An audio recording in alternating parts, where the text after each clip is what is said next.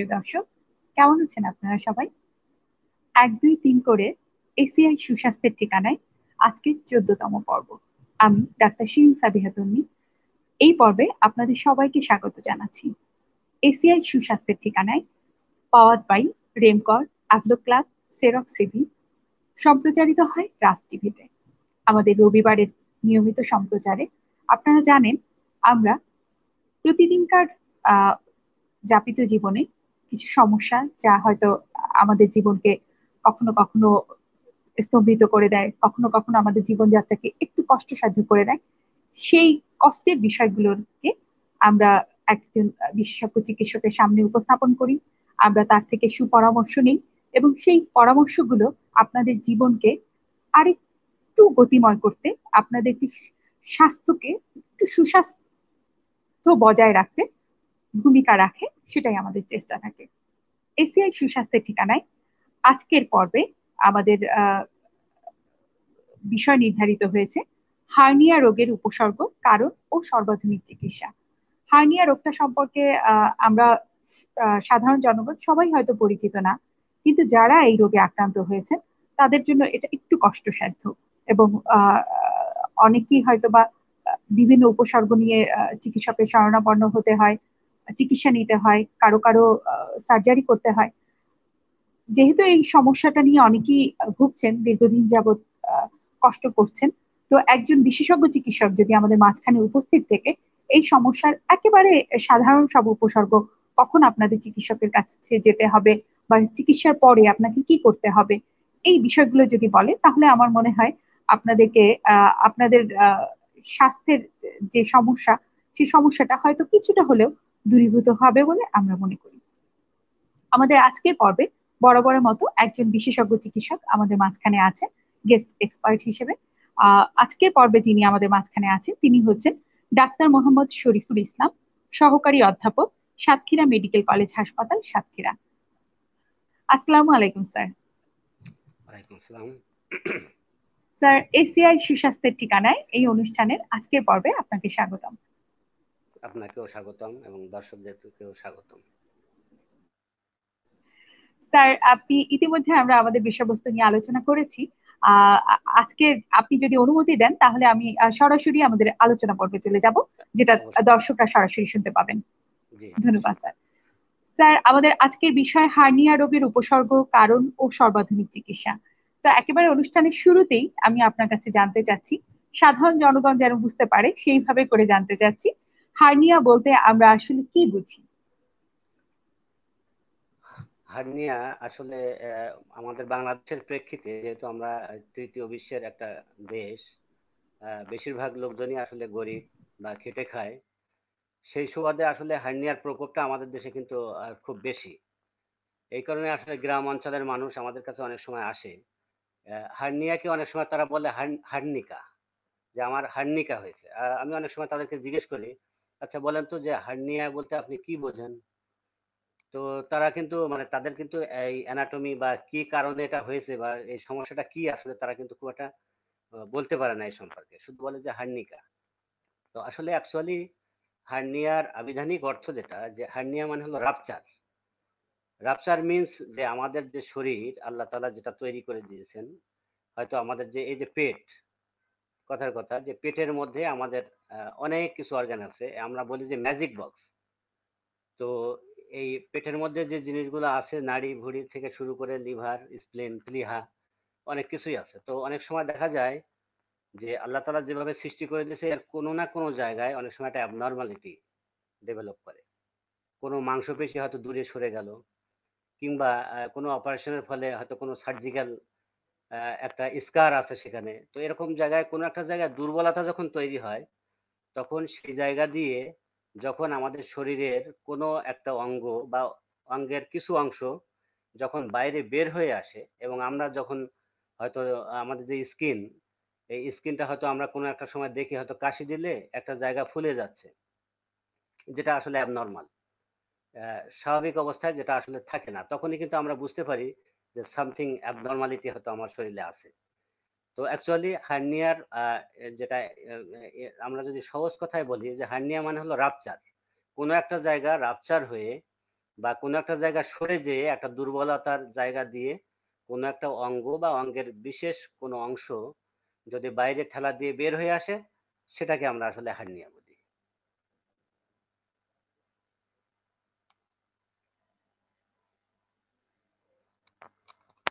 বিষয়টা আমাদের কাছে ক্লিয়ার করলে যে যদি আমাদের অ্যাবডোমেন বা পেটের মধ্যে যে অনেক যেটা সাধারণ মানুষ যেটাকে পেট বলে বেসিক্যালি আমরা আমাদের। চিকিৎসা বিজ্ঞানের ভাষায় যে এর মধ্যে আমাদের সব অর্গানগুলো মানে আমাদের জীবনযাত্রার জন্য প্রয়োজনীয় সবগুলো আছে তো সেটার উপরে আমাদের পাতলা মাংস পেশি দিয়ে আবৃত থাকে তো ওই কোনো একটা জায়গায় যদি একটুখানি হ্যাম্পার্ড হয় বা লুজ হয়ে যায় সেখান থেকে যদি ভিতরে কোনো অংশ বাহিরে এসে প্রেশার ক্রিয়েট করে বা বাহির থেকে স্কিনের নিচে যদি সেটাকে দেখা যায় তো সেটাকে হার্নিয়া বলা হয়। এবং হার্নিয়া রোগীরা সাধারণত আমি এই প্রশ্নটা এই সংজ্ঞার সাথে সাথেই জানতে চাচ্ছি যে সাধারণত কোন চিকিৎসকের কাছে যাবে? আপনি বললেন যে রুগীরা নিজেরাই বলছে যে আমার হার্নিকা হয়েছে। তো একজন রুগী যদি বুঝতে পারে যে তার এই ধরনের প্রবলেম হয়েছে, তো তিনি কোন চিকিৎসকের কাছে যাবেন? হার্নিয়া তো আসলে অ্যাকচুয়ালি এক কথায় যদি বলি এটা এটা হলো একটা সার্জিক্যাল ডিজিজ মানে একজন সার্জনের কাছেই রোগী প্রথমে যাওয়া উচিত। যদিও আমাদের বেশিরভাগ রোগী অল্প শিক্ষিত বা গ্রামে গঞ্জে বাস করে তারা হয়তো বুঝে না আসলে যে কার কাছে যেতে হবে। কিন্তু বেশিরভাগ হয়তো অনেক সময় আমাদের কাছে কিন্তু রিফারাল হয়ে মেডিসিনের ডাক্তার হয়ে হোক বা গাইনির ডাক্তার হয়ে হোক বা যে কোনো ডাক্তার হয়ে কিন্তু আসে। কিন্তু আমার কথা সেটা না। আসলে যারা আমি আজকের এই অনুষ্ঠান থেকে আপনার মাধ্যমে যেটা বলতে চাই যেটা অ্যাকচুয়ালি আসলে সার্জনের কাছেই যদি প্রথমে রোগীটা যায় তাহলে কিন্তু সে প্রপার চিকিৎসাটা পাবে। সার্জনের কাছে আসা উচিত। সময় ক্ষেপণ কম হয় জি। স্যার। হার্নিয়া আসলে কত প্রকার? কত ধরনের হার্নিয়া রোগী সাধারণত আসে আপনাদের কাছে? হার্নিয়ার প্রকারভেদ যদি আমি বলি আসলে তাহলে এটা আমরা আমাদের দেখা গেল যে আমাদের আসলে যেটা আমাদের মনে করেন যে মাথা মাথা আছে এরপরে আমাদের কি বুক আছে এরপরে পেট আছে পেটের পরে আবার আদার্স অর্গান তো আসলে অ্যাকচুয়ালি এমনও কিন্তু যদি আমি মোটা দাগে বলি তাহলে বলা যায় যে অনেক সময় দেখা গেল যে প্রেশার বাড়লে ব্রেনের প্রেশার বাড়লে আমরা বলি যে ফোরামেন ম্যাগনাম ব্রেনের অনেক ম্যাটেরিয়ালস অনেক সময় এই ছিদ্র দিয়ে আমাদের কিন্তু গলা দিয়ে পেটের আমাদের বুকের মধ্যে চলে আসে। তখন এটা কিন্তু এক ধরনের একটা হার্নিয়া। আবার আচ্ছা। বুকের মধ্যে যদি চাপ বেশি অনুভূত হয় তাহলে আমাদের বুক এবং পেটের মাঝখানে কিন্তু একটা পর্দা আছে। এই পর্দা যেমন ডায়াফ্রাম বলি আমরা এটা।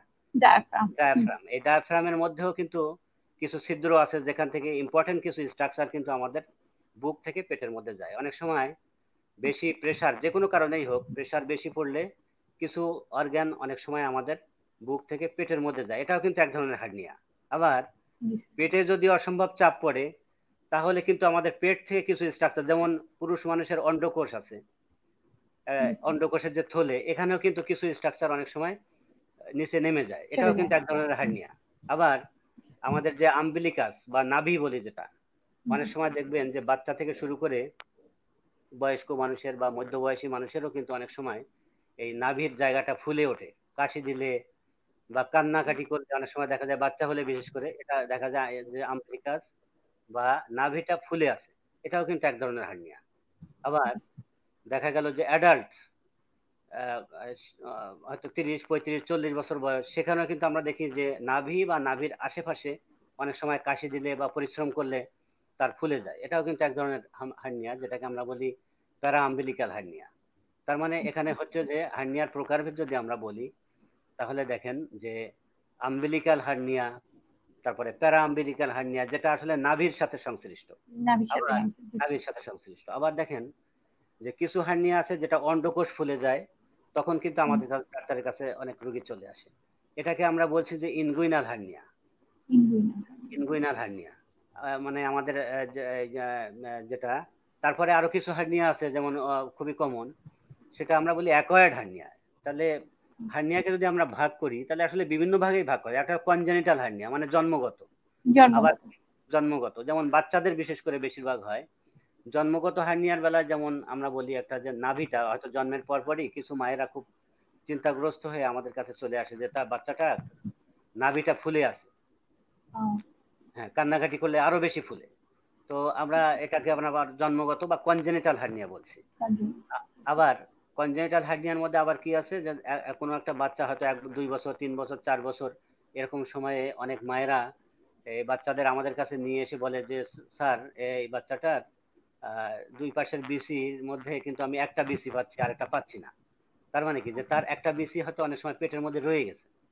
তো এই যে বিসি একটা পেটের মধ্যে মানে আমরা ইংরেজিতে যেটাকে বলছি টেস্টিস টেস্টিস। অনেক সময় হ্যাঁ টেস্টিসটা অন্ডকোষ এটা কিন্তু অনেক সময় পেটের মধ্যে রয়ে যায় এবং এটা অনেক সময় হার্নিয়া আকারে যখন এই বাচ্চাটা কাশি দেয় কিংবা এক্সারসাইজ করে বা দৌড়াদৌড়ি করে তখন কিন্তু এটা অনেক সময় উকি দিয়ে কোনো একটা অন্ডকোষের মধ্যে অনেক সময় চলে আসে এটাও কিন্তু এক আচ্ছা। ধরনের জন্মগত হার্নিয়া তো আবার আচ্ছা। আরও কিছু হার্নিয়া হয় যেটা আসলে আমরা সার্জিক্যাল দিক দিয়ে যেটা বলি অনেক সময় রুগীরা অনেক অপারেশন করে পেটের মধ্যে অনেক দেখা গেল যে সিজার হয়েছে অথবা পেটের মধ্যে কোনো একটা লম্বা লম্বি একটা হয়তো স্কার আছে ইনসিশন দিয়ে একটা অপারেশন করা হয়েছে। হয়তো দু বছর বা এক বছর পরে ডাক্তারের কাছে এসে বলে যে আমার আগে এরকম ছিল না অপারেশনের পরে পাঁচ ছয় মাস পর থেকে আমি দেখতে পাচ্ছি যে এই জায়গাটা কেমন যেন পরিশ্রম করলে বা দিলে হ্যাঁ ফুলে যায়। এটাও কিন্তু আমরা এক ধরনের অ্যাকোয়ার্ড হার্নিয়া এটা মানে এটা হলো আমাদের অর্জিত একটা হার্নিয়া আর কি। তো যার ফলে আমরা এটা অ্যাকোয়ার্ড হার্নিয়া বলছি তার মানে আসলে মোটা দাগে যদি আমরা বলি যে হার্নিয়ার আসলে কোনো শেষ নাই এটা আমি যেরকম একটা হ্যাঁ মানে একদম আমাদের অঙ্গের একদম পুরা মাথা থেকে ব্রেন থেকে শুরু করে আমাদের অ্যাবডোমেনের মানে পেটের যেখানে শেষ সে পর্যন্ত কিন্তু আমরা হার্নিয়া আসলে দেখে থাকি। আসলে অল্প কথায় আপনি যে ধরনের রুগী আপনার কাছে আসে তার একটা বিস্তারিত ই দিলেন যে হার্নিয়া আসলে কত মানে আসলে অবস্থান এবং ঘটনা মানে কীভাবে হলো এর উপর ডিপেন্ড করে হার্নিয়া বিভিন্ন ধরনের হতে পারে। তবে হার্নিয়া রোগীকে যখনই কোনো একজন মানে এই ফুলে যাওয়া স্কিনের নিচে ফুলে যাওয়া, কাশি দিলে ফুলে যাওয়া বা যখন একজন রোগী বুঝতে পারবে যে তার হার্নিয়া হয়েছে, তখন তার নিকটস্থ একজন একজন সার্জন বিশেষজ্ঞ চিকিৎসকের কাছে শরণাপন্ন হলে তিনি হয়তো চিকিৎসার সুযোগ পাবেন। ধন্যবাদ, স্যার। স্যার হার্নিয়ার কারণ অনেক, অনেকগুলো কারণ আসলে চলে এসছে। আপনি প্রকারভেদটা যখন বলেছেন তার সাথে সাথে তারপরে মোটা দাগে যদি স্যার একটু বলেন যে হার্নিয়ার আসলে কারণগুলো কি? আচ্ছা হার্নিয়ার কারণ আসলে অ্যাকচুয়ালি আমরা যেটা বলি যে ন্যাচারাল বা নর্মাল নর্মাল কিছু উইক পয়েন্ট কিন্তু আমাদের শরীরে জন্মগতভাবে। আমরা যখন মাতৃগর্ভ থেকে আস্তে আস্তে মানে যখন জন্ম নেই তখন কিছু কিছু হ্যাঁ কিছু নর্মাল উইক পয়েন্ট থাকে। যেমন একটা বিল্ডিং এর একটা ছাদ যখন আমরা করি দেখবেন আপনি খেয়াল করলে যে ওই ছাদের মধ্যে কিছু পাইপ মানে হয়তো তার যাওয়ার জন্য বা কিছু কেবল এগুলো যাওয়া আসা করার জন্য হয়তো ওর মধ্যে এই ওর মধ্যে আমরা কিছু পাইপ দিয়ে থাকি কিন্তু। ওই পাইপের মধ্য দিয়ে ওগুলো যাওয়া আসা করে। তো আমরা যখন ন্যাচারালি জন্ম গ্রহণ করি তখন কিছু নর্মাল উইক পয়েন্ট থাকে। এই নর্মাল উইক পয়েন্ট যেমন আমরা আমি যদি বলি যে পেট থেকে অন্ডকোষটা কিন্তু যেটা পেট থেকে কিন্তু নামে নিচে আমাদের অন্ডকোষের থলের মধ্যে। তো এখানে যাওয়ার জন্য হয়তো কিছু রক্তনালী ভাস ডিফারেন্স আমরা একটা অর্গান আছে যেখান থেকে শুক্রাণু যাওয়া আসা করে। এই অর্গানগুলো কিন্তু পেট থেকে আস্তে আস্তে নিচের দিকে নেমে যায়। তো এটা স্বাভাবিকভাবে নামার পথে যেহেতু কিছু এটা মানে একটা কি বলব যে কংক্রিট কোনো কিছু না যেহেতু একটা কিছু জিনিস এখানে নামে যার ফলে এখানে কিন্তু ন্যাচারালি কিছু উইকনেস থেকে যায়। তো এই আমরা হার্নিয়া কেন হয় যদি আমরা আসলে অ্যাকচুয়ালি উত্তরটা খুঁজতে চাই তাহলে আমরা দুইটা উত্তর আমরা বলতে পারি। একটা হলো যে নর্মাল কিছু উইক পয়েন্ট আছে সেখান দিয়ে যদি নর্মাল কিছু জিনিস আস্তে আস্তে নেমে যায় তাহলে সেটাকে আমরা সেজন্য হার নেওয়া হচ্ছে। আরেকটা হলো যে অ্যাবনর্মাল উইকনেস যদি কিছু থাকে অ্যাবনর্মাল উইকনেস কেমন? কোনো ডিজিজের কারণে হতে পারে কিংবা জন্মগত কোনো ত্রুটির কারণে হতে পারে অ্যাবনর্মাল উইকনেস আর আরও একটা জিনিস যদি আমরা বলি যে একটা ট্রমার কারণেও একটা অ্যাবনর্মাল যে উইকনেস এটা হতে পারে আর কিছু হতে পারে যেমন সার্জারি যেহেতু এখানে উইক জন্মগত হয়েছিল না আমি সার্জারি করলাম যার ফলে ওখানে একটা উইকনেস ডেভেলপ করছে যার ফলে এখানে পরবর্তীতে হয়তো ওই লেয়ারগুলো আমাদের যে মাংসপেশির লেয়ারগুলো আছে ওই লেয়ারগুলো হয়তো সেলাই দেওয়া ছিল। সেখানে যে কোনো কারণে হোক চাপের কারণে হোক বা রোগের কারণে হোক ওই ওইখানটা একটা দুর্বলতা কিন্তু থেকে যাচ্ছে যার ফলে এই মাংসপেশিগুলো যখন পরবর্তীতে দুই সাইডে সরে যায় তখন অটোমেটিক্যালি কিন্তু একটা উইক পয়েন্ট তৈরি হয়ে যায়। এবং এই উইক পয়েন্ট দিয়ে তখন কিন্তু আমাদের কিছু অর্গান হয়তো ওখান থেকে বাইরে বের হয়ে আসার চেষ্টা করে। কিন্তু বাইরের প্রোটেকশনটা থাকে আমাদের স্কিন বা চামড়া। সুতরাং আমরা হার্নিয়ার কারণ হিসেবে যদি আমরা বলি এরকম কিছু ফ্যাক্টর তাহলে জড়িত। আরেকটা হলো যে কেন হয় যদি আমরা বলি তাহলে আমরা একটা কথাই বলতে পারি যে কিছু প্রিডিসপোজিং ফ্যাক্টর আছে। মানে যে ফ্যাক্টরগুলো প্রিডিসপোজিং এই কারণে বলছি যে এগুলো ত্বরান্বিত করে হার্নিয়াকে আচ্ছা। যেমন আমরা সহজ কথায় যদি বলি কষা কাশি। পেশা পেশি এই চারটা জিনিস। মানে আমরা আচ্ছা, আচ্ছা। যেটা বলি যে কষা বলতে সহজে মনে রাখার জন্য। হ্যাঁ সহজে মনে রাখার জন্য। কষা যেমন মানে বলতে হলে যে কষা পায়খানা। আমি যদি আমি একটা রোগীর শুনি যে আপনার কোষ্ঠকাঠিন্যের সমস্যা কি ফিল করেন কিনা জন্ম থেকেই? হ্যাঁ কিছু কিছু লোকজন হয়তো এটা বলেই যে তার কোষ্ঠকাঠিন্যের সমস্যা সারা জীবনে এবং রোগীদের কিন্তু হার্নিয়া হওয়ার সম্ভাবনাটা বেশি থাকে। আবার কাশি দীর্ঘদিন একটা রোগীর যদি কাশি থাকে যেটাকে আমরা অনেক সময় বলি COPD chronic obstructive pulmonary disease যেমন অ্যাজমা হাঁপানি ব্রঙ্কাইটিস এই ধরনের কিছু রোগী আছে যাদেরকে যেহেতু তারা ক্রমাগত কাশে আর কাশলে কি হবে? তখন আমাদের পেটের মধ্যে অ্যাবডোমিনাল প্রেশারটা তখন বেড়ে যায়। এবং অ্যাবডোমিনাল প্রেশার যখন বেড়ে যাবে তখন কিন্তু তার হার্নিয়া হওয়ার টেন্ডেন্সিটা কিন্তু বেড়ে যায়। আর আরও দুইটা কথা আছে যেমন পেশা পেশি আমি একটা কথা বলছিলাম। পেশা মানে তার পেশাটা কি? ভেরি মাচ ইম্পর্টেন্ট সে যদি দেখা গেল যে সেডেন্টারি ওয়ার্কার হয়। হ্যাঁ সেডেন্টারি ওয়ার্কার হয় সে তো বসে থাকে দেখো সারাদিন। কিন্তু কিছু পেশা আছে যেমন যারা রিক্সা পুলার কিংবা যারা শ্রমিক অনেক বোঝা ভারী জিনিস বহন করতে আচ্ছা, হয়। আচ্ছা, রিক্সাওয়ালাদের অনেক পরিশ্রম করে তাদের কিন্তু আয় ইনকাম করার জন্য একটা হ্যাঁ প্যাডেলিং করতে হলে বা গাড়ি চালাতে হলে তাদের পেটের মধ্যে খুব বেশি পরিমাণ প্রেসার পড়ে। কিংবা যারা আচ্ছা। দীর্ঘক্ষণ দাঁড়িয়ে কাজ করে যেমন আমরা ডাক্তাররাও কিন্তু দাঁড়িয়ে কাজ করি কিংবা পুলিশ মনে হ্যাঁ সার্জনরা তো আছেই। পুলিশের মধ্যে দেখা গেল যে তারা অনেক পরিশ্রম করে এবং সারাদিন দাঁড়িয়ে কাজ করতে হয় তখন তার অ্যাবডোমিনাল প্রেশারও সবসময় বাড়ে। নিচের দিকে একটা গ্রাভিটির আচ্ছা, আচ্ছা। কারণে হ্যাঁ একটা চাপ থাকে। এই একটা। এবং আরেকটা মোস্ট ইম্পর্টেন্ট যেটা যে প্রেসাব মানে বিশেষ করে বয়স্ক যারা তাদের ক্ষেত্রে দেখা যায় যে তাদের এই মূত্রথলির মধ্যে প্রোস্টেট নামক একটা জিনিস থাকে। একটা প্রোস্টেট একটা জিনিস থাকে একটা গ্রন্থি এই গ্ল্যান্ড আর কি। তো এই গ্ল্যান্ডের মাংসটা কিন্তু আস্তে আস্তে চল্লিশ আফটার ফোর্টি এই মাংসগুলো বাড়তে থাকে আস্তে আস্তে। তখন দেখা গেল ওই ব্যক্তি পেশাব করার সময় অনেক সময় তাকে কষ্ট করতে হয় বা আগে হয়তো পেশাব ভালো হতো এখন পেশাব করতে গেলে তাকে দেখা গেল খুব প্রেশার দিতে হয় অথবা ফোটায় ফোটায় পড়ে। এরকম আচ্ছা। যারা তাদের কিন্তু ওই দেখা গেল যে এখন আর মানে খুব ফ্লুয়েন্টলি পেশাবটা করতে পারতেছে না। তখন তাকে চাপ দিয়ে পেশাব করতে হয়। এই চাপ আচ্ছা। দেওয়ার ফলে তার ইন্ট্রা অ্যাবডোমিনাল প্রেশার বা পেটের মধ্যে প্রেশারটা বাড়তে থাকে। তখন এই ধরনের রোগী যারা আছে তাদের ক্ষেত্রেও কিন্তু হার্নিয়ার টেন্ডেন্সি বেশি থাকে। তো এই হলো মোটামুটি হার্নিয়ার কারণগুলো বলা যায় এক দাগে স্যার আসলে কারণের মাঝখানে সব বিষয়গুলোই চলে এসেছে। যে কোন পেশা বা কারা সাসেপ্টেবল কাদের হওয়ার সম্ভাবনা বেশি সবগুলো বিষয় এর সাথে চলে এসছে। স্যার এর সাথে সাথে আমি যদি এক কথায় জানতে চাই যে কোন বয়স কোন পেশা কোন লিঙ্গের মানুষের বেশি হয়? তাহলে লিঙ্গ বলতে আমরা বোধহয় মেইলদের ফিমেলদের তুলনায় বেশি হয় বলতে পারি। মেইলদের বেশি। হয়। আর বয়স বললে আমার মনে হয় শিশুদের থেকে শিশুরা শুধুমাত্র যারা কনজেনিটাল তারা ছাড়া শিশুদের থেকে বয়স্কদের বেশি হয়। আর পেশা যদি বলি তাহলে যারা দাঁড়িয়ে কাজ করেন ট্রাফিক পুলিশ চিকিৎসক সার্জন আর অন্যান্য যারা আছে যারা ভারী বোঝা বহন করে এই পেশার লোকদের হয়তো বেশি হয়। তাহলে এই মানে আপনার কারণের উত্তরটার মধ্যে থেকে বোধহয় আমরা নেক্সট যে প্রশ্ন যে কোন পেশা কোন বয়স কোন লিঙ্গের লোকদের বেশি হয় সেটা বোধহয় আমরা পেয়ে গেছি। চমৎকার স্যার ধন্যবাদ। স্যার আমরা পরবর্তী যে কোশ্চেনটা আসি সেটা ইতিমধ্যে আপনি একটুখানি বলেছেন আমাদের।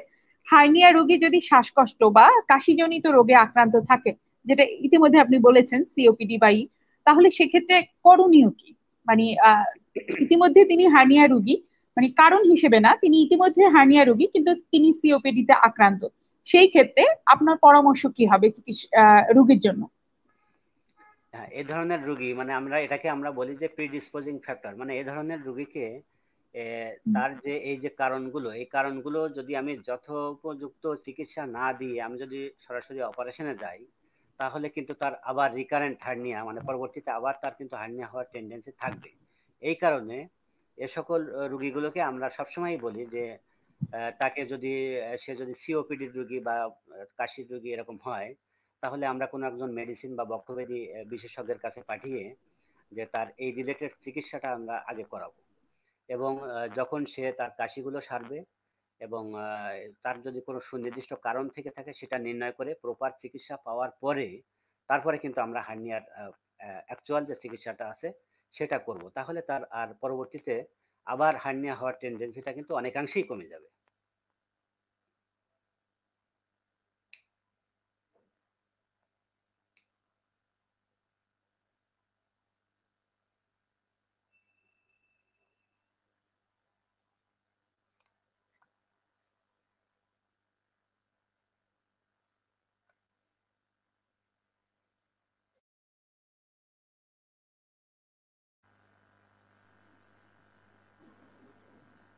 হ্যালো?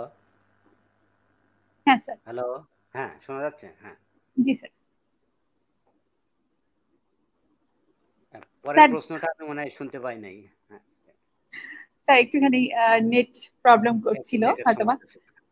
স্যার এই প্রশ্নের পরবর্তী আমি যে প্রশ্নটা করতে চাচ্ছি সেটা ডায়াবেটিস আক্রান্ত বা হাইপারটেনসিভ পেশেন্ট দেখা যায় যে এই রোগীদের বিভিন্ন সমস্যা থাকে তাদের রেগুলার ওষুধ খেতে হয়।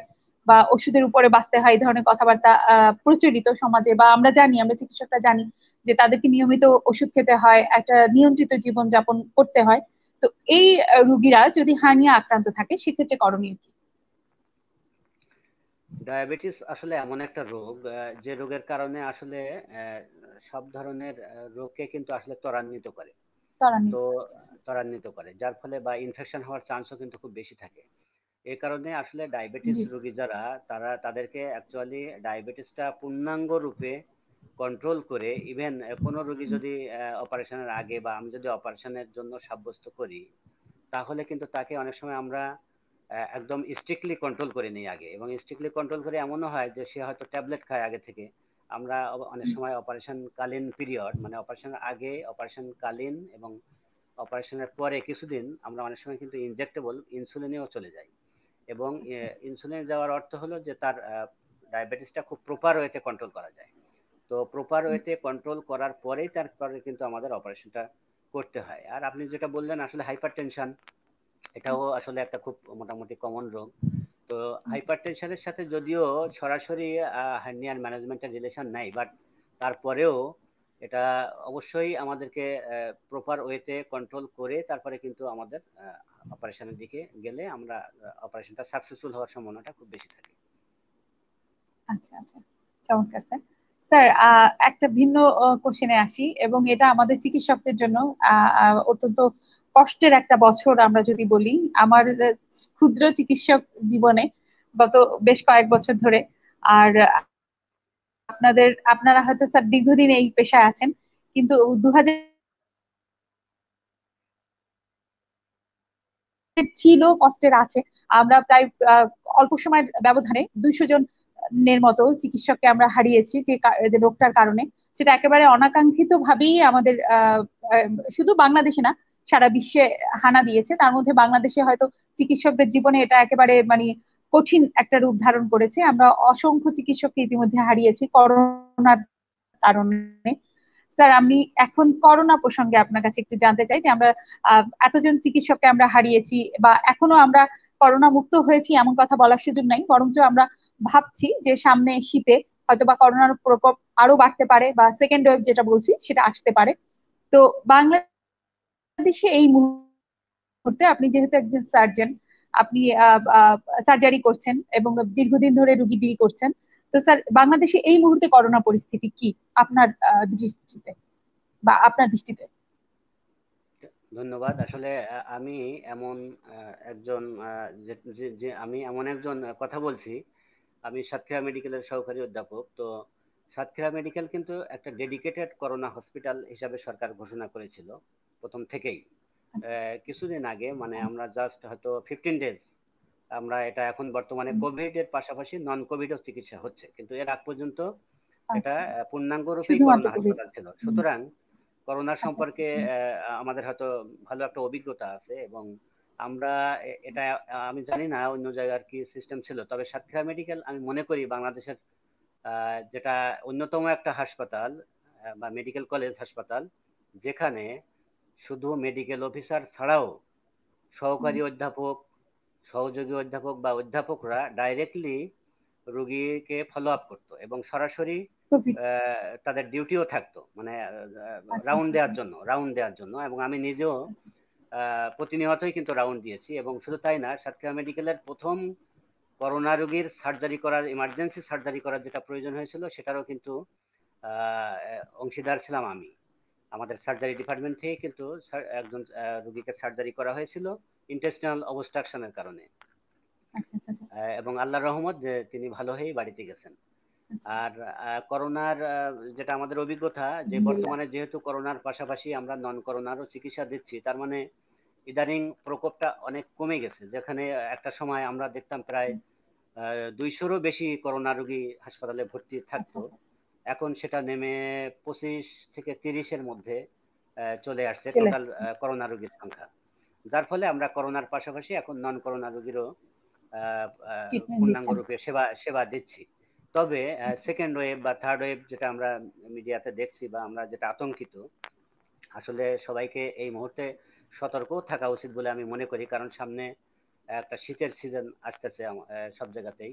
বাংলাদেশের সেটা আসতেছে। তো যার ফলে সেকেন্ড ওয়েভ যে একটা আসবে এবং কেমন ভাবে আসবে কি এবং সেটা যে আসলে কতটুকু নাড়া দেবে এটা কিন্তু আমরা খুবই একটা আতঙ্কের মধ্যে আছি।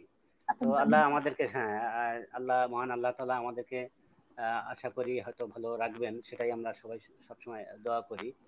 তবে এখনই আসলে গা ছাড়া দিলে হবে না। আমি জনগণের উদ্দেশ্যে এই আপনার মাধ্যমে বলতে চাই যে আপনারাও এখনও একটু সচেতন থাকুন কারণ সামনের শীতের সিজনটা পার না হওয়া পর্যন্ত আসলে আমরা কিন্তু এখন যেভাবে চলছি আমি মনে করি যে না মাস্ক পরা থেকে শুরু করে হাতে আমাদের যারা ডাক্তার রিলেটেড আছি গ্লাভস পরা হোক বা স্যানিটাইজার ব্যবহার করা হোক যেটুকু স্বাস্থ্যবিধি মেনে চলা যেটা স্যার। হ্যাঁ স্বাস্থ্যবিধি মেনে চলা। স্বাস্থ্যবিধিটা আমাদের মেনে চলা উচিত আসলে এখন। জি স্যার। ধন্যবাদ স্যার। এটা স্যার আপনার এই মূল্যবান কথাটা আমি আসলে জনগণকে জানাতে চাই যে আসলে আমাদের খুব আমরা এখন খুব গাছাড়া একটা ভাব চলে এসছে। আমরা শপিং করছি পিকনিক করছি বেড়াচ্ছি। কিন্তু আসলে যে কিছু মানুষ বেড়াচ্ছি, কিন্তু হয়তো মিডিয়াতে ওইভাবে আসছে না বা যেহেতু দীর্ঘদিন হয়ে গেছে, আমরা এইভাবে খেয়াল করছি না। কিন্তু মাঝে মাঝেই কিন্তু আমরা কোভিডে মারা গেছেন, চিকিৎসক মারা গেছেন, সাধারণ রোগী মারা গেছেন, এগুলো কিন্তু আমরা শুনছি। দ্যাটস আমি সাধারণ জনগণকে আবারও বলব যে আপনারা সচেতন হন, সাবধান হন, স্বাস্থ্যবিধি মেনে চলুন। মানে হয়তো কোভিড চলে গেলে আমরা আবার স্বাভাবিক জীবনে ফিরে যেতে পারব। কিন্তু এই সময় যদি আমরা মৃত্যু ঝুঁকি নিয়ে বেড়াতে বের হই আর যদি কোভিড আক্রান্ত হই, তার পরবর্তী জীবনটা আসলে, পরবর্তী সময়টা যারা কোভিড আক্রান্ত হচ্ছে, তাদের জন্য এটা খুব কষ্টকর, তাদের পরিবারের জন্য এটা খুব কষ্টকর। স্যার, আমি এটা, এই মুহূর্তে আসলে হার্নিয়া, যেহেতু আজকে আমাদের আলোচনার বিষয়, আমি হার্নিয়া এবং কোভিড এই দুটার সংমিশ্রণে একটা কোশ্চেন করতে চাই। যে আসলে হার্নিয়ায় আক্রান্ত রোগীগণ করোনাকালীন কতটুকু চ্যালেঞ্জ তাদের জন্য ছিল? মানে করোনা তাদের জন্য কতটা চ্যালেঞ্জিং ছিল? হার্নিয়া আসলে যে রোগ হার্নিয়া রোগে যে সবসময় একদম ইমার্জেন্সি সার্জারি লাগবে এমন কথা না। কিছু কিছু সিচুয়েশন আছে আসে হ্যাঁ। কিছু কিছু সিচুয়েশন অনেক সময় অ্যারাইজ করে যে হয়তো হার্নিয়ার কিছু কমপ্লিকেশন সেটা নিয়ে হয়তো আমরা পরে আলাপে আসবে হয়তো বা এই কমপ্লিকেটেড হার্নিয়া না হলে আমি মনে করি যে এই যে করোনাকালীন যদি সেটা মোটামুটি রোগী ভালো থাকে বা সিমটোমেটিক না থাকে তাহলে এখন যে এটা মিক্সড একটা সিচুয়েশন সমস্ত জায়গায় সব হসপিটালে কিন্তু করোনা নন করোনা আমরা কিন্তু আসলে ওইভাবে চিহ্নিত করতে পারি না বা চিহ্নিত করাও সবসময় সম্ভব হয় না। তো সেক্ষেত্রে যেহেতু এটা রুটিন সার্জারি মানে যেগুলো কমপ্লিকেটেড না সেজন্য আমার মনে হয় যে একটু দেখে শুনেই সার্জারিটা করা ভালো। যে করোনাকালীন পিরিয়ডটা একটু কেটে গেলে সেগুলো করলে ভালো হয় বলে আমি মনে করি। এটা আসলে খুব ইম্পর্টেন্ট যে আপনি নিজেই বলে যে কিছু প্যাশেন্ট এসে নিজেরাই বলে যে তাদের হার্নিকা হয়েছে। তো যারা নিজেরা বুঝতে পারছে যে তারা হার্নিয়াতে আক্রান্ত সেটা যদি খুব কষ্টকর না হয় সেই উপসর্গগুলো যে তার সাধারণ জীবনযাত্রাকে একেবারে অতিষ্ঠ করে দিচ্ছে এমন না হয় তাহলে বোধহয় করোনা কালটা তাদের অপেক্ষা করা উচিত। স্যার হার্নিয়া প্যাশেন্ট যদি করোনা আক্রান্ত হয় সেক্ষেত্রে কি কোনো বাড়তি সচেতনতার দরকার আছে? না স্বাভাবিকভাবে সে বাসায় অবস্থান করতে পারে বা সাধারণ ট্রিটমেন্ট নিতে পারে? না হার্নিয়ার সাথে করোনা যদি থাকেই তো আসলে ফার্স্ট হলো যে করোনাটা তো আসলে বেশি ঝুঁকিপূর্ণ একটা রোগ যার ফলে আমি মনে করি যে ওই সময় সার্জারির দিকে অতটা মানে প্রায়োরিটি না দিয়ে বরং আসলে করোনাকে আগে ঠেকাও। মানে আমার স্লোগান হলো এরকমই যে করোনাকে আগে ঠেকিয়ে আগে জীবনটা বাঁচুক এরপরে তারপর যদি সে ভালো হয় তাহলে পরবর্তীতে হার্নিয়া চিকিৎসা করা যাবে। আচ্ছা, আচ্ছা। তাহলে আমরা সাধারণ একজন মানুষ আক্রান্ত হলে তার জন্য যে পরামর্শগুলো থাকে যে বাড়িতে থাকা তারপরে আইসোলেটেড থাকা গরম পানি খাওয়া গড়গড়া করা শ্বাসকষ্ট যাতে না হয় বা স্যাচুরেশনটা রেগুলার চেক করা অন্য অসুখ থাকলে সেটার ট্রিটমেন্ট নেওয়া মানে এটা সাধারণ একটা রুগীকে করোনার জন্য যে পরামর্শ হ্যাঁ, থাকে হার্নিয়া প্যাশেন্টের জন্য পরামর্শগুলো সেরকমই থাকবে। তাকে বিশেষ কোনো সচেতনতা ওই সময় অবলম্বন করার দরকার নেই। ওকে স্যার ধন্যবাদ। স্যার স্যার আপনি আমরা যখন হার্নিয়ার প্রকারভেদটা জানতে চেয়েছিলাম তখন আপনি খুব সুন্দর করে প্রকারভেদটা বর্ণনা করতে গিয়ে একটা বিষয় বলেছিলেন যে সার্জিক্যাল হার্নিয়া যে যদি আমরা কোনো একটা অপারেশন করা হয় সে অপারেশনের কারণে তার একটা নর্মাল স্কিন বা নর্মাল তার অ্যাবডোমেনের যে কন্টিনিউটিটা যে ব্রেক হয় লেয়ারটা যে ব্রেক হয় ওখান থেকে অনেক সময় এক বছর বা দু বছর পরে যে কোনো একটা প্রোডাক্ট ভিতর থেকে শরীরের কোনো একটা অংশ যদি বের হয়ে চলে আসে, সেটাকে আমরা ইনসিশনাল হার্নিয়া বলি। তো ইনসিশনাল হার্নিয়া যদি কোনো মায়ের থাকে, মা বলতে আমি প্রেগনেন্ট মাকে বুঝিয়েছি যে তার প্রিভিয়াস সার্জারি প্রিভিয়াস সিজার কোনো একটা জায়গা থেকে যদি হার্নিয়া থাকে আর মা যদি গর্ভবতী হয়, তখন আসলে ওই মায়ের, যেহেতু তার অ্যাবডোমেনটা বাচ্চা বড় হওয়ার সাথে সাথে তার অ্যাবডোমেন বড় হচ্ছে তো এই মাকে কি ধরনের সচেতনতা অবলম্বন করতে হবে? বা তাকে কি গাইনোকোলজিস্টের সাথে সাথে একজন সার্জারি চিকিৎসকের শরণাপন্ন হতে হবে কিনা? এই বিষয়টা যদি স্যার একটু ক্লিয়ার করেন। হ্যাঁ এটা আমরা অনেক ক্ষেত্রেই কিন্তু এরকম রোগী আমাদের কাছে আসে যে সে প্রেগন্যান্ট তার পেটটা আস্তে আস্তে বড় হচ্ছে আবার একই সাথে দেখা গেল একটা হার্নিয়াও আছে তার ইনসিশনাল হার্নিয়া এক্ষেত্রে আসলে সার্জন হিসাবে আমরা রোগীকে অ্যাডভাইস করি যেটা যে আসলে তার এই মুহূর্তে হার্নিয়া নিয়ে অতটা মাথা গরম করা বা এত চিন্তা করার খুব একটা প্রয়োজন নাই। আগে বাচ্চাটা বড় হোক তারপরে যদি তার সিজার লাগে বা কোনো অপারেশন করে যদি ওটাকে বের করানো লাগে অ্যাট দ্যাট সিচুয়েশন আমরা কিন্তু একই সাথে তার বাচ্চার অপারেশনও করা এবং একই সাথে কিন্তু হার্নিয়ার যে অপারেশন করা মানে গাইনিকোলজিস্টের সাথে একজন সার্জন অ্যাড আচ্ছা, আচ্ছা, হয়ে আচ্ছা। কিন্তু এই কাজটা সুষ্ঠুভাবে সমাধান করতে পারে। তো আমরা সেজন্যই তাকে আমরা বলি যে বেটার যে এটা এখনই প্রেগন্যান্ট কালীন অপারেশন করার খুব একটা প্রয়োজন নাই। এটা সে বেল্ট প্রয়োজন হলে একটা বেল্ট অ্যাবডোমিনাল যে বেল্ট আছে এগুলো ব্যবহার করতে পারে অনেক সময় বা একটু রেস্টে থাকতে পারে।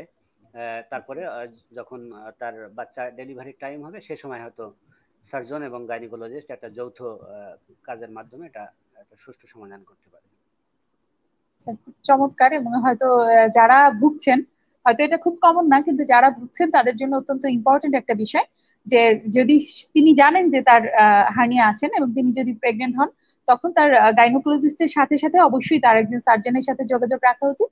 এবং হয়তো তার সিজারের টাইমে যেহেতু তার আগের সিজার ছিল বা কোনো অপারেশন ছিল সিজার হলে সেক্ষেত্রে একসাথে করে দেওয়া যায়, অথবা নর্মাল ডেলিভারি হলে বাচ্চা ডেলিভারি হয়ে যাওয়ার পরে সে এই অপারেশনটা করতে পারে। চমৎকার স্যার স্যার একটা খুব কমন কোশ্চেন যেটা আমরা সব ডাক্তাররা বিশেষ করে সার্জনরাও সার্জনরা একটু কম শোনেন অন্য ডাক্তাররা হয়তো একটু বেশি শোনেন যে ডাক্তারের কাছে গেলেই পরীক্ষা নিরীক্ষা করা হয়।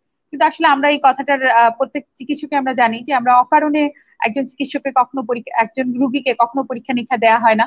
পরীক্ষা নিরীক্ষা করা হয় তার রোগ তার হয়তো ট্রু ডায়াগনোসিস যেটা হয়তো আমি ভাবলাম পাঁচটা অসুখ তার মাঝখানে যেটা সঠিক সেটা বোঝার জন্য। তো সাধারণ জনগণের জন্য আপনার মাধ্যমে আমি এটা জানাতে চাই হার্নিয়া রোগের ক্ষেত্রে বা হার্নিয়া অপারেশনের ক্ষেত্রে কোন কোন পরীক্ষা নিরীক্ষা না করলেই না বা কোন কোন পরীক্ষা নিরীক্ষা গুলো করা হয়? আমি এখানে আপনার মাধ্যমে আসলে এটা খুব গুরুত্বপূর্ণ একটা প্রশ্ন আসলে। আমাদের ডাক্তারদের সম্পর্কে অনেক নেতিবাচক আসলে পোষণ করে হ্যাঁ, সাধারণ মানুষ।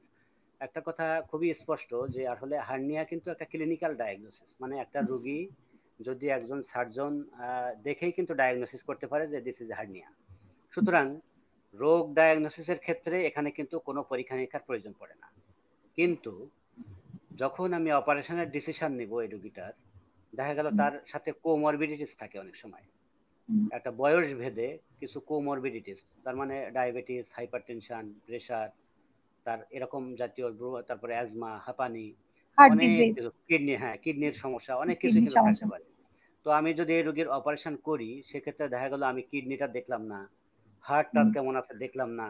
এখন অপারেশনের সময় যে অজ্ঞানজনিত কারণে এই রোগীর কিন্তু অনেক রকম সমস্যা হতে পারে। হার্নিয়া অপারেশন হয়তো সাকসেসফুল কিন্তু দেখা গেল তার অন্য কারণে তার রোগ রোগটা বা সার্জারিটা একটা কমপ্লিকেটেড হয়ে গেল। এক্ষেত্রে দায়বদ্ধতা কিন্তু সার্জনেরই বা ডাক্তারকেই কিন্তু পোহাইতে হয়। যার ফলে আমি মনে করি যেটা যে আমরা যে সবসময় একটা রোগ ডায়াগনোসিসের জন্য যে পরীক্ষা নিরীক্ষা করি তা না। আসলে এই কোমরবিডিটিসগুলো বা তার যে আনুষঙ্গিক যে অর্গানগুলো আছে সেগুলো আসলে ওতপ্রোতভাবে জড়িত অজ্ঞানের সাথে রিলেটেড অজ্ঞানের সময় অনেক রকম ওষুধ প্রয়োগ করতে হয় যেগুলো যদি আমি এগুলো আগে থেকে যদি মানে দেখে না নেই যে তার কোনো অন্য কোনো সমস্যা আছে কিনা এটা কিন্তু রুগী দেখা গেল হার্নিয়ার কারণে হয়তো জীবন দিবে না কিন্তু ওই কারণগুলোর কারণে কিন্তু তার জীবনও চলে যেতে পারে। তো যার ফলে আমরা যে পরীক্ষা নিরীক্ষাগুলো আসলে দিই এগুলো অনেক সময় কিন্তু আমরা দেখেই বুঝতে পারি যে তার হার্নিয়া হয়েছে। কিন্তু আসলে অ্যাকচুয়ালি এগুলো আমাদের কোনো লাভ না। আসলে কথা হলো যে একটা রুগীর জীবনটা যাতে হ্যাঁ সুস্থ থাকে এবং যাতে অপারেশন কালীন যাতে ঝুঁকিপূর্ণ না হয় সেজন্যই কিন্তু আমরা এই পরীক্ষা নিরীক্ষাগুলো দিয়ে থাকি। চমৎকার। স্যার হার্নিয়ার অত্যাধুনিক চিকিৎসাটা আপনি ইতিমধ্যে বলে ফেলেছেন। হার্নিয়ার কি কি চিকিৎসা কোনটা ক্ষেত্রে বলা হয়? স্যার অত্যাধুনিক চিকিৎসাটা কি? সেটা যদি একটু বলেন। হার্নিয়ার ক্ষেত্রে যদি আমি আসলে মানে একটু ছোট থেকে মানে ছোট বয়স থেকে যদি আস্তে আস্তে বড় বয়সের দিকে যাই তাহলে আমি এক কথায় যেটা বলি যে যেসব মায়েরা উদ্বিগ্ন থাকে যে একটা বাচ্চা হয়তো দুই মাস চার মাস পাঁচ মাস এই যে আমি বলছিলাম যে নাভির এখান থেকে একটু ফুলে আসে আম্বিলিকাল হার্নিয়া আমরা কিন্তু ক্লিয়ার কাট এটা মানে জানতে হবে সবাইকে যে দুই বছর পর্যন্ত কিন্তু আমরা বাচ্চাদের ওয়েট করতে বলি যে সেই সব মায়েকে আমরা বলে দেই যে আপনি দুই বছর পর্যন্ত ওয়েট করেন অনেক সময় দেখা গেল এই হার্নিয়া দুই বছর পরে আর পাওয়া যাবে না। মানে অটোমেটিক্যালি আচ্ছা। এটা রিগ্রেশন হয়ে কিন্তু হ্যাঁ ভালো হয়ে যায় অনেক সময়। এরপরে আসি হয়তো চার পাঁচ ছয় বা এরকম তিন এর মধ্যে যেসব বাচ্চাগুলো। এদের ক্ষেত্রে অনেক সময় আমরা কিন্তু হার্নিয়ার সার্জারি করার সময় দেখা গেল যে হার্নিয়ার সার্জারিতে আসলে বেশ কিছু অপশন আছে যেটা আমি হয়তো আপনাকে এই মুহূর্তে বলা ভালো।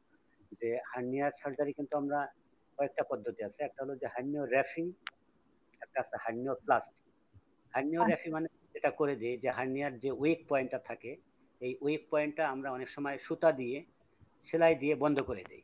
যে এই পয়েন্ট দিয়ে আচ্ছা। যাতে আর অর্গানটা বের হয়ে না আসতে পারে।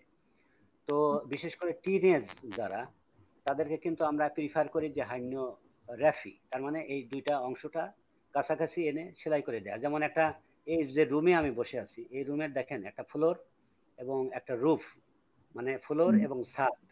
এর মধ্যেই কিন্তু স্পেসটা।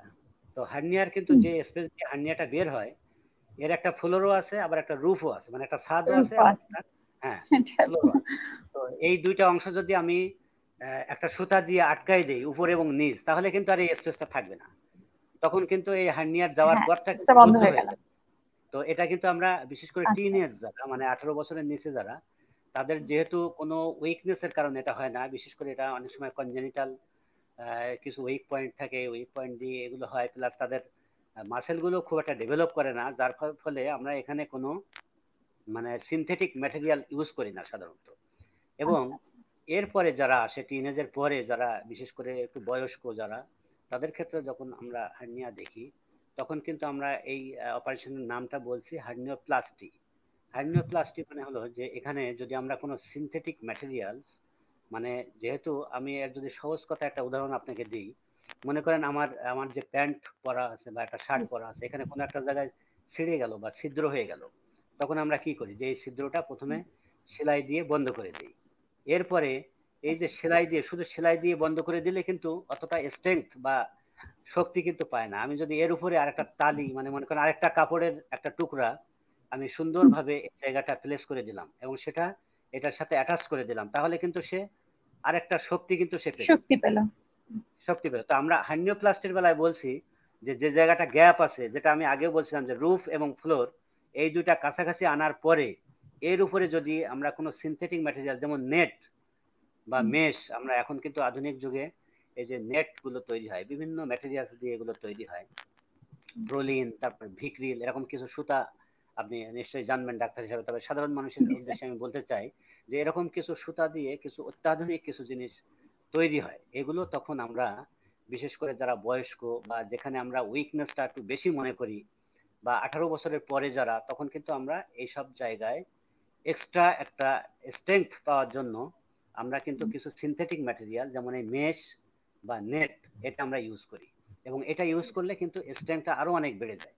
এটাকে আমরা বলছি হার্নিও প্লাস্টি এবং আরও একটা কথা আমি এখানে আপনার মাধ্যমে বলতে চাই যেটা যে আসলে হার্নিও প্লাস্টি যেটা এটা এটা কিন্তু এখনকার যুগে আপনি যেহেতু অত্যাধুনিক চিকিৎসার কথা বা কি কি অপশন আছে সেগুলো শুনতেছিলেন তো দর্শকদের উদ্দেশ্যে আমি যেটা বলতে চাই আসলে এখন আধুনিক যুগে হার্নিয়ার সার্জারি কিন্তু একটা হলো যে কেটে মানে অপারেশন তো আমরা আসলে দুই ভাবে করতে পারি একটা কেটে একটা না কেটে। তো কেটেও করা যায় আবার না কেটে যেটা ল্যাপারোস্কোপি আমরা বলছি কম্পিউটার বলে অনেক সময় গ্রামের মানুষ বা সাধারণ মানুষ বলে কম্পিউটার পদ্ধতিতে। আচ্ছা। এটা দিয়েও কিন্তু আমরা করতে পারি। তো সবচেয়ে বেটার আসলে কম্পিউটারাইজ পদ্ধতি যেটা ল্যাপারোস্কোপিক পদ্ধতি। এই ল্যাপারোস্কোপিক পদ্ধতিতে কি হয় যে কোনো কাটা ছেঁড়া লাগে না। যেহেতু আগে হয়তো তার কাটা থাকতে পারে এবার হয়তো সে আর কাটতে চাচ্ছে না। সে সময় দেখা গেল আমরা পেটে কয়েকটা ছিদ্র করে ক্যামেরা আমরা পেটের মধ্যে নিয়ে গ্যাপটা ভালো করে দেখে গ্যাপটা কিন্তু আমরা আস্তে আস্তে সুতা দিয়ে অ্যাপোজিশন করে এবং গ্যাপের নিচে বা গ্যাপের উপরে তখন আমরা কিন্তু একটা নেট বা একটা মেশ কিন্তু সেট করে দিয়ে আসতে পারি। তখন কিন্তু রুগী হ্যাঁ রুগী কিন্তু তখন হাসপাতালে খুব বেশি দিন থাকাও লাগে না। দেখা গেল একদিন বা দুই দিন হাসপাতালে স্টে করার পরে সে বাড়ি চলে যাচ্ছে। তো আমি মনে করি এটা একটা ব্লেসিংস আসলে এই যে অপারেশন যেটা হার্নিয়ার ক্ষেত্রে এটা আমরা একটা সময় আমরা যখন হয়তো মেডিকেলে পড়তাম তখনও কিন্তু এগুলো সম্পর্কে অতটা ধারণা কিন্তু ছিলও না। কিন্তু ইদানিংকার আচ্ছা। যুগে আমরা যারা সার্জন দেশ বিদেশ থেকে বিভিন্ন জায়গা থেকে ট্রেনিং করে এখন কিন্তু আমরা খুব ল্যাপারোস্কোপিক হার্নিওপ্লাস্টি যেটাকে আমরা বলছি এটা কিন্তু খুব সুন্দরভাবে এখন কিন্তু অনেকেই এবং ইভেন শুধু ঢাকা কেন্দ্রিক না আমি মনে করি এখন অনেক জেলা শহরে আমাদের অনেক কলিগ বা অনেক সার্জন ইভেন আমি নিজেও কিন্তু এটার প্র্যাকটিস কিন্তু আমরা করে যাচ্ছি। সুতরাং আসলে দর্শকদের বা রোগীদের হার্নিয়া রোগীদের অতটা আসলে ভয় পাওয়ার তেমন কিছু নাই। এখন কিন্তু এটা আমরা ল্যাপারোস্কোপিক পদ্ধতিতে যেখানে মাত্র একদিন বা দুই দিন হাসপাতালে স্টে করা লাগে এরকম পদ্ধতিতে কিন্তু আমরা এখন হার্নিয়ার সার্জারি করছি।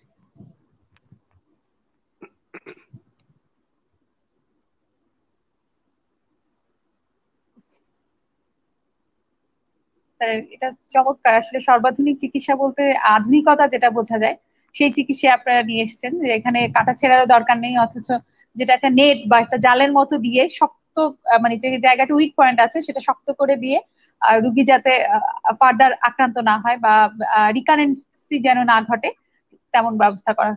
অনেক ধন্যবাদ স্যার, এবং আপনাদের সকল সার্জনদের অভিনন্দন যে আপনারা এই বেটার কাজটা করছেন। স্যার, একেবারে শেষের দিকে চলে এসেছি আমরা অনুষ্ঠানের। এই মুহূর্তে আমি যেটা জানতে চাই যে এটা এই সময়ের একটা ট্রেন্ড যেটা চলছে যে লাইফ স্টাইল মডিফিকেশন যে কোনো রোগের ক্ষেত্রেই দেখা যায় যে মানুষ ওয়েট কমানো বা মানে মানুষের মাঝখানে সচেতনতা বেড়েছে, এটা আমাদের জন্য একটা সুখবর। তো হার্নিয়ার ক্ষেত্রে লাইফ স্টাইল মডিফিকেশন কতখানি উপকারী এবং সাধারণ জনগণ কি করলে পরে তারা হার্নিয়া রোগ থেকে মুক্ত থাকতে পারে বা হার্নিয়া আক্রান্ত হলেও তারা মোটামুটি স্বাভাবিক জীবন যাপন করতে পারে? এটা আমাদের অনুষ্ঠানের একেবারে শেষ প্রশ্ন স্যার আসলে এটা ঠিকই আছে যে লাইফস্টাইল মডিফিকেশন আসলে একটা গুরুত্বপূর্ণ জিনিস। কারণ আমি মনে করি যে অসচেতনতা আসলে অসচেতনতা থেকেই কিন্তু আমাদের রোগটা অনেক ঝুঁকির দিকে চলে যায় বা রোগটা অনেক কমপ্লিকেটেড হয়ে যায়। তো আপনি যেটা বলছেন আসলে যে খাদ্যাভ্যাস থেকে শুরু করে যে স্মোকিং কিংবা দেখা গেলো তেল চর্বি ভাজা পোড়া এগুলো যারা খুব বেশি পছন্দ করে তাদের কোষ্ঠকাঠিন্যের ভাবগুলো আসলে বেশি থাকে। তারপরে দেখা গেল যে স্মোকিং এর সাথে যারা রিলেটেড তাদের এই যে দীর্ঘদিনের যে কাশি বা ব্রঙ্কাইটিস এগুলো কিন্তু তাদেরই বেশি থাকে। তো যার ফলে আমি মনে করি যে আধুনিক যুগে আসলে লাইফস্টাইল মডিফিকেশন একটা গুরুত্বপূর্ণ জিনিস। আমরা সবসময় নিজেদের স্বাস্থ্য সচেতনতা মানে বজায় রাখব এবং এটা যদি আমরা বজায় রাখতে পারি আমার মনে হয় যে আসলে রোগ শোক ইভেন হার্নিয়াও তো একটা রোগ এটাও আসলে কিন্তু কমে যাবে। প্রকোপটা। ধন্যবাদ স্যার। স্যার আমরা অনুষ্ঠান যেহেতু একেবারে শেষ প্রশ্ন শেষ হলো স্যার আমি আপনার কাছ থেকে এসিআই রাজ টিভি এবং দর্শকদের কাছ থেকে যদি আপনি একটু বিদায় নিয়ে নেন। হ্যাঁ আসলে ধন্যবাদ এসিআই কোম্পানি এবং আপনি ডাক্তার তন্নি। তো এতক্ষণ আমরা একসাথে ছিলাম আর দর্শকরাও আশা করি আজকে আমাদের কথাগুলো শুনেছে। তো হার্নিয়া সম্পর্কে তাদের যে ভয় বা ভীতি হয়তো অনেক কিছু ছিল বা অনেক কিছু অজানা ছিল আমি মনে করি যে আজকের অনুষ্ঠানের মাধ্যমে অন্তত কিছুটা হলেও হয়তো ধারণা হবে এবং এই রোগ সম্পর্কে আপনারা ভয়ও পাবেন না কারণ এটার আধুনিক চিকিৎসাটা আসলে অত্যন্ত উন্নত মানের। আমি মনে করি যে ল্যাপারোস্কোপিক পদ্ধতি যেটা বিশ্বসেরা এক সময় হয়তো বিদেশে এটা ছিল এখন কিন্তু আমাদের দেশে অনেকটাই অ্যাভেলেবল প্রায় সব জেলা শহরেই যে সকল সার্জন আছে আশা করি তারাও এগুলো এখন প্র্যাকটিসও করছেন, তো আশা করি আমরা বাংলাদেশ আস্তে আস্তে যেভাবে এগিয়ে যাচ্ছে অপারেশনের ক্ষেত্রে আমাদের ডাক্তাররাও আসলে দেশ বিদেশ থেকে বিভিন্ন ট্রেনিং নিয়ে আমাদের দেশের মানুষের জন্য অত্যন্ত সুন্দর পদ্ধতিগুলো তারাও আত্মস্থ করছেন এবং আস্তে আস্তে আমাদের দেশের মানুষও আসলে এগুলো থেকে উপকৃত হবে, এই আশাবাদ ব্যক্ত করে আমি দর্শকদের এবং আপনাকে এবং রাজ টিভিকে এবং এসিআই ফার্মাসিউটিক্যালসে ধন্যবাদ জানিয়ে শেষ করছি। ধন্যবাদ। ধন্যবাদ, স্যার। হার্নিয়া, অত্যন্ত জটিল একটা বিষয়। এবং যারা হার্নিয়া আক্রান্ত হচ্ছে, তারা বা, হয়তো অনেকটা কষ্টকর সময় পার করেছে হার্নিয়ার সাথে। কিন্তু একেবারে সহজ ভাষায় আজকে আমাদের বিশেষজ্ঞ চিকিৎসক যিনি আমাদের মাঝখানে ছিলেন ডাক্তার মোহাম্মদ শরীফ ইসলাম স্যার, খুব সুন্দর করে আপনাদের উদ্দেশ্যে হার্নিয়া সম্পর্কে বললেন। হার্নিয়ার কারণ প্রতিকার, প্রতিরোধ, চিকিৎসা, সর্বাধুনিক চিকিৎসা, সবকিছু সম্পর্কেই বললেন। আপনারা যারা অনুষ্ঠান দেখছেন, আমরা দীর্ঘদিন আপনাদের সাথে আসছি এসিআই সুস্বাস্থ্যের ঠিকানায় এই অনুষ্ঠান নিয়ে। আপনারা যদি কোনো বিশেষ বিষয় জানতে চান, তাহলে আমাদেরকে জানাবেন। আমরা সেই বিষয়টি আপনাদের মাঝখানে নিয়ে আসব। আপনাদের যদি সামান্য উপকারে আসতে পারি, আপনাদের সুস্বাস্থ্যের ঠিকানায় আমরা কতটা পৌঁছে দিতে পেরেছি আমরা জানি না, কিন্তু আমাদের চেষ্টাটা অব্যাহত থাকবে এবং আমাদের ভালো লাগবে। আপনারা আমরা বারবার করে বলছি শীতের আমেজ ইতিমধ্যে প্রকৃতিতে চলে এসছে। এখনই হয়তো সন্ধ্যার পরে বাইরে বেরোলে বেশ শীতের কাপড় লাগছে। হয়তো শেষটাতে আমরা সবাই একটু শীতের আমেজে আপ্লুত হচ্ছি। কিন্তু এই আমেজটুকু যেন কেবল সুখেরই হয়, এটা যেন কোনো দুঃখ বয়ে না আনে, সেই জন্য আমি বলব, আপনারা সবাই সচেতন হন। এই বছরটা আমাদের জন্য আলাদা।